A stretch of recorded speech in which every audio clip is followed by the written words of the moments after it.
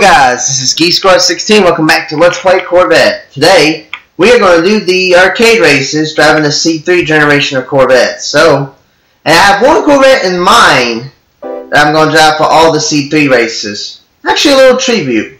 And yes, the uh, C3 is from 1968 to 1982, I believe. Yep. So, um, I'm going to be driving the 1972 Corvette Coupe because this is paying tribute to my stepdad's Corvette. He had a 72 um, for, his, for his first vehicle, and it was, if I can find it, it was an Elkhart green. It was this color here, is what he had. And um, the story of the Corvette that my stepdad had, which was the 72, um, it had the T-tops in it, and it had the 350 in it. Now for 72, they also had the 454 big block came with that come with it, but he got the 350 instead. Well, actually, his dad got it in 73 from a guy that was going to trade it for a Jag, I guess, I guess for a Jaguar. And uh, yeah, it was my stepdad's first car. He actually painted it maroon and it had gold uh, stripes on the bottom and on the hood.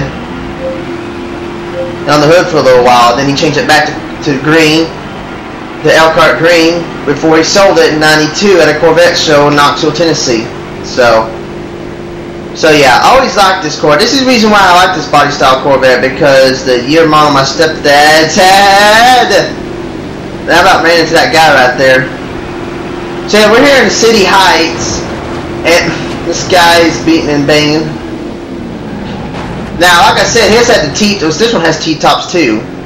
So, so yeah. So we're here at City Heights. I remember this race right here. We are on the Speedway, the first start out, and then we're in the city. So, oh wow, that's some big air right there. So yeah, I will be driving this Corvette right here for all the C3, just to pay tribute to my stepdad's Corvette. Oh yeah, he sold it to a guy that has a Corvette museum up in Boston, Massachusetts. So, so yeah.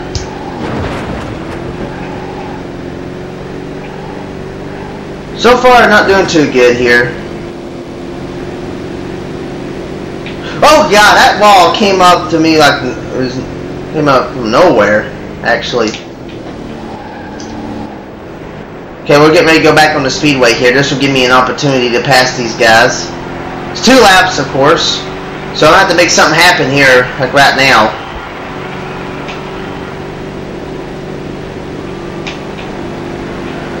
Okay, try not to go in the grass here. Because that'll happen. I got the second though.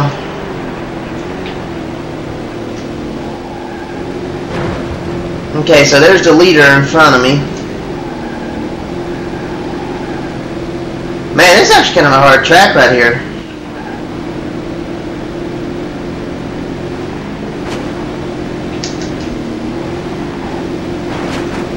Okay, three wide for the lead. Got it. Uh, I think the turn a little bit too wide. It's going to cost me a little bit. Okay, but I'm still out in the lead, though, so we're still good. We are still good. That sounded like that hurt. Okay, we're about coming down to the home stretch here. I remember this turn right there. I didn't realize how far out that guardrail was and I ran right into it.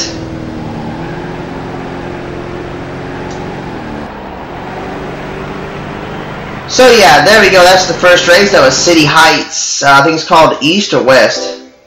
But yeah, my stepdad had a good first vehicle for his for his like his first vehicle, if you know what I mean. So yeah, pretty cool. Pretty cool indeed. So yeah, um, wait for this to get done loading. There we go. Not a bad race. Uh, well, not City Heights West, that's what it's called. Going to continue. Oh yeah, here we go. The 2500 Speedway. This is the racetrack. The first track we raced on when we did the career mode in C1. Going to drive the same Corvette, same color. Let's get started.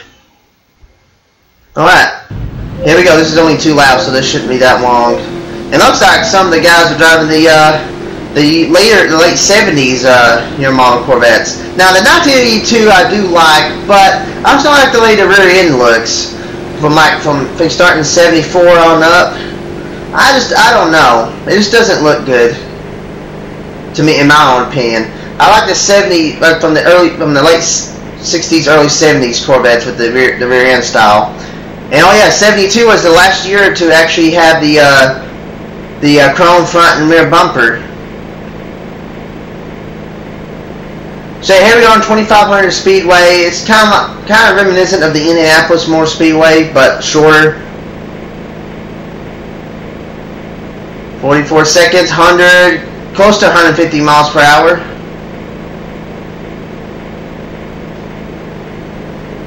Yeah, to stay. My advice on this track: stay in the gas. You don't have to have any braking points. As we're beating these guys by six seconds, so this is a quick race right here. Hell yeah!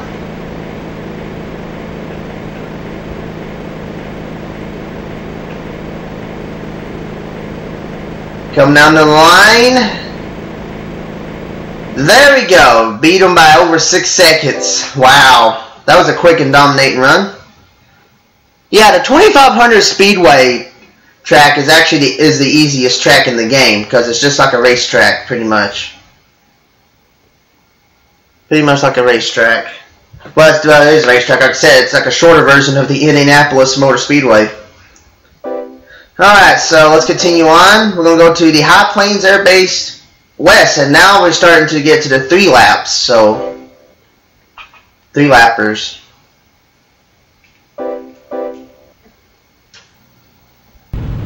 Alright, here we go. This is the air this is kinda like the airport right out here. And this is three laps, so it's gonna be a little bit long.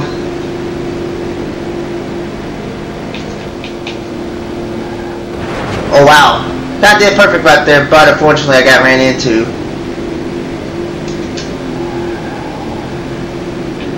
Just, just um, watch the corners here. Just make sure you know your braking zone because it's all important. Now some of these corners you can just let off the gas and you'll be fine.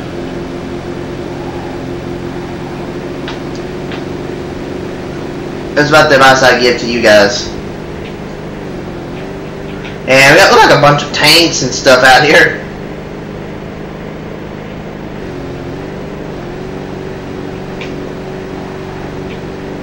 Okay, getting ahead of the, of the competitors. Okay, coming up to a sharp corner right up here. Nah, rear tire barely in the dirt, but we're good. Oh wow, let's start slowing down definitely that turn, and I lost first and second. That was no good.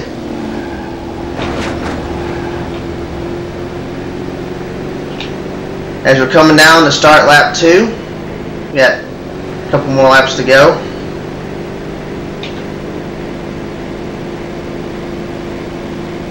A little bit of a slipstream out there. Okay, I remember I'm going at a full rate of speed, unlike I was at the start.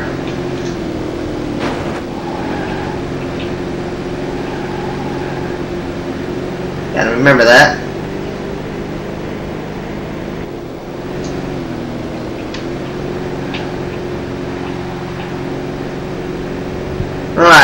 Alright, so let's try to redeem myself right here.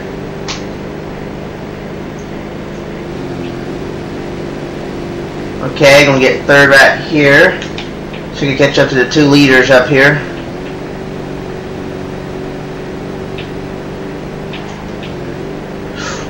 Alrighty.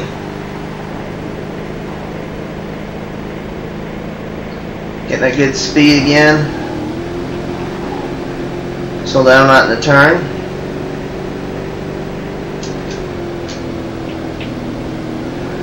Okay, start slowing down and just, and just stay out of the gas until you get to the straightaway part of that corner right there. I didn't make the turn that good, so that's what happened there.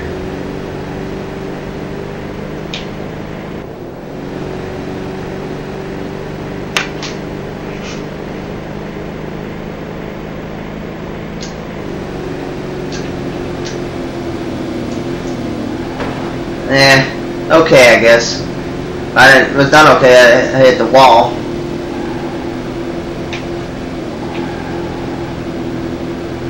Alright, I'm going to have to make something happen here because this is the final lap.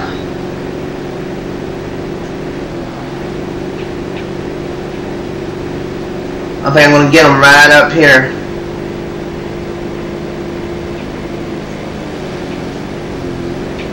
Yeah, just let out the gas right there a couple of times, and there we go. I'm in the lead. Now the question is, can I stay in the lead until we get to the finish line? Is the key, is the question.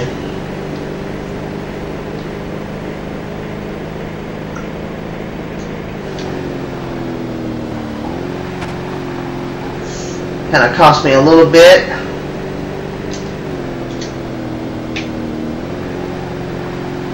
1.66 seconds. Uh, okay, took the turn a lot better that time. Okay, I, I think I got this, definitely.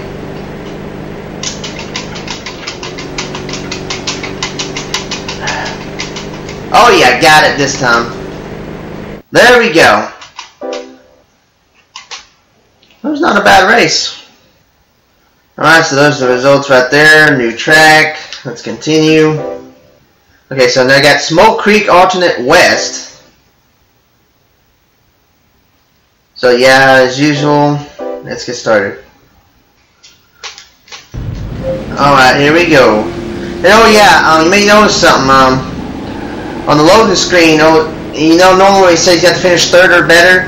Well, in these races here, you have to finish second or better. So you got to finish first or second to unlock the next race. So yeah, I thought I should point that out. I don't remember this track right here.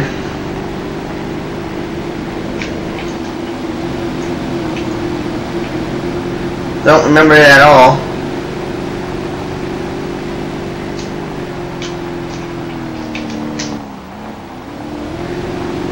Well, I got the turn right there. Unfortunately, I was going to lose the lead. Hanging on, though. Three wide, anyone? Still got her. A little bit of a bump draft right there from one of the competitors.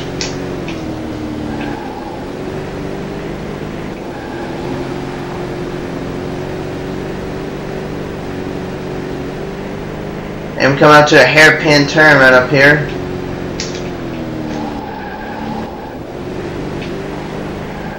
Got it. Oh wow, I about ran right into the wall and I ran right into those parked cars right there. I wonder if this is a new track. I don't know.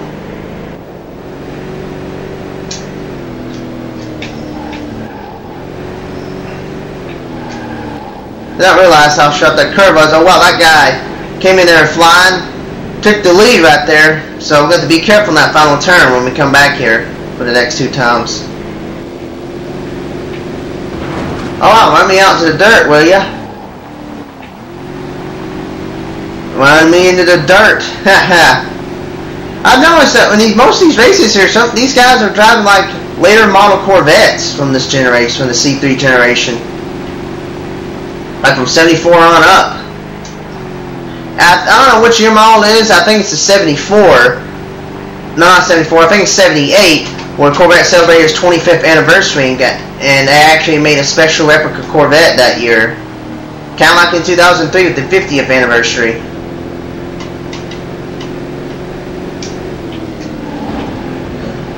A little bit of a bump draft right there. That corner right there, you just have to stay in the gas as long as you're going at a good, the right amount of speed.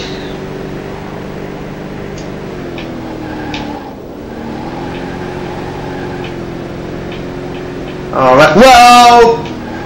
Dang it!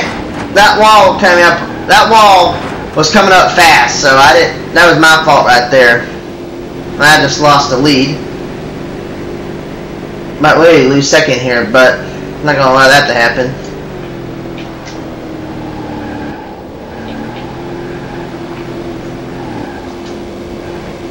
Jeez, I'm gonna have to figure out what to do in that turn right there.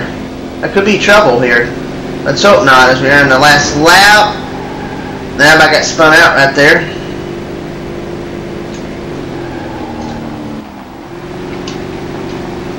Okay, so we're to to do something here. I want to get to the lead as soon as I can. So I can get a good advantage.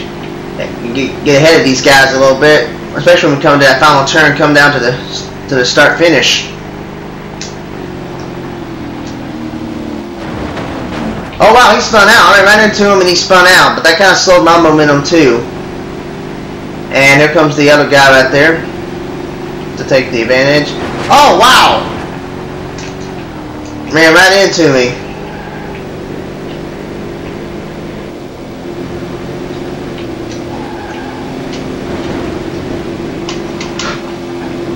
I think I need to slow down right there. Alright, let's take this turn a lot better this time around.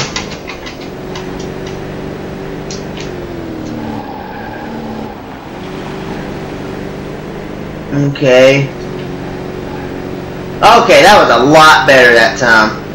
Alright, let's get a good lead on these guys here. Yeah, yeah, I like it.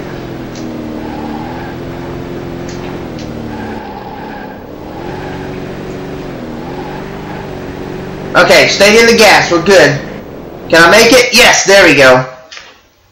Okay, guys, that final turn right there, you just get all you got. Just try to stay in the gas right there, because um, that's what got me in trouble. Because I was letting off the gas. I guess I was tapping the brake too, and uh, I was allowing the uh, other cars to go past me. So, so yeah, I just stayed in the gas that that final current, that final turn right there, and I got the win. Okay, so new track. Alright, so now let's move on to the one-on-one -on -one race. Tumbleweed Flats West. This is back down to two laps. And of course, like I said, the one-on-one -on -one race. Got to beat our opponent. And here we go. Alright, so this guy is driving, I don't know what color, well, what car it is. I know what color it is. It's a blue. 1970 something, 73? Oh wow, the cop I ran right into the, my opponent right there. As we got cops right here. Oh, I think this is the long-assed one. If I'm not mistaken. I don't know. It could be. But I lost a cop already, so that's good. Well, I thought I did.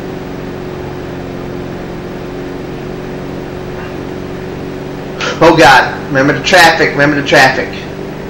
And I think the cop hit one of the track uncommon cars there. But unfortunately my opponent did not.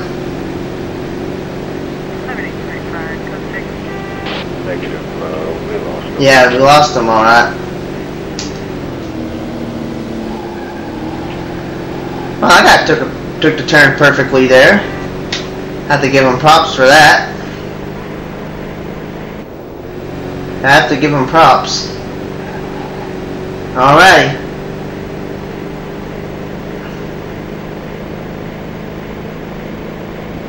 See if I can get ahead of this guy. Oh yeah, I think I kind of remember this one here.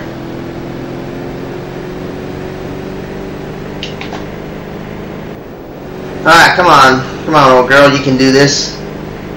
Yes, I called my Corvette an old girl. And he hit traffic. That that was perfect right there. Slowed him down somewhat. Took him down a peg. But he's still ahead of me. Two seconds ahead. And start finish line up here.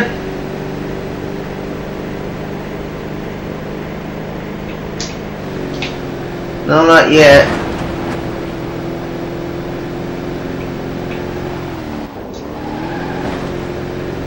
Oh god, he's right there. And that should not have happened. Back her up and let's back on track here. Okay, I still got plenty of time to do this, so I'm not out of the woods yet. Well, hello.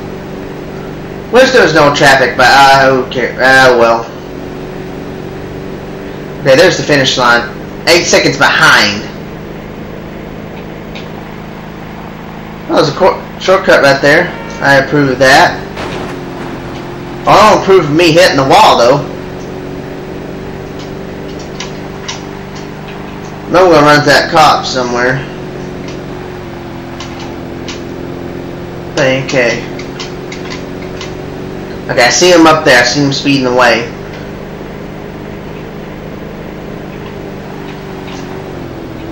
Okay, five seconds. I gained some um, gained gained some ground on him. I got this. I see. I got to do something here.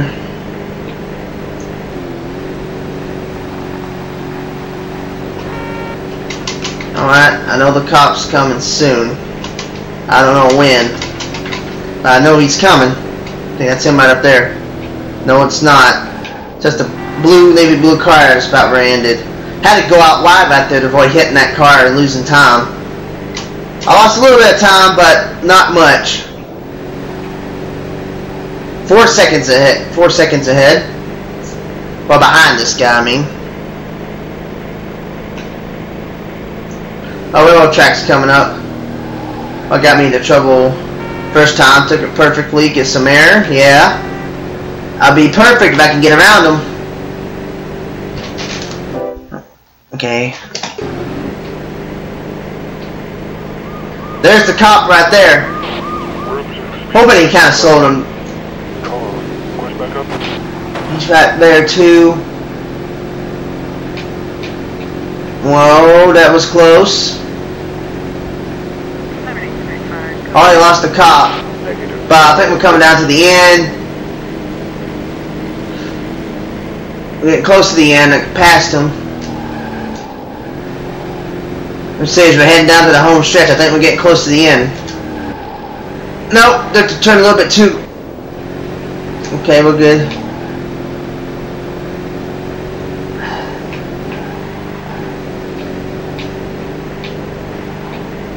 Okay, got a little bit in the dirt right there. Make the turn, so... Okay, now we're coming down to the home stretch. Whew! Oh, man, that was... I don't know how I made that race. I don't know how I finished first, actually. So, But, you know what? Who cares? I won. That's all that matters. I was lagging behind during most of the race, but on the final lap, I started catching them slowly but surely. And there we go. We won the race. We won all the races in the C3, the C3 arcade. Speaking of which, here's a look at the Corvettes here. There's 1980. That is the 1968. And I just those two cars, it's 68, no, 68, 1980, and 1973. Alright, there we go. And of course, we unlocked all the, well, we won all the C3 amateur races. Unlocked all C3 cars, 1968 to 1982, to use in quick race, and of course the Tumbleweeds Flat West, West track. So yeah, guys, that's going to do it for the C3. Paid a little homage to my stepdad's 1972 Corvette by driving it in this video. I'm actually going to pay homage next time when we do during the C4 arcade races. Well, you may, why am I, how, how am I going to pay homage? Well, find out in tomorrow's video. So till then, this is GeekSquad16 signing out. Later.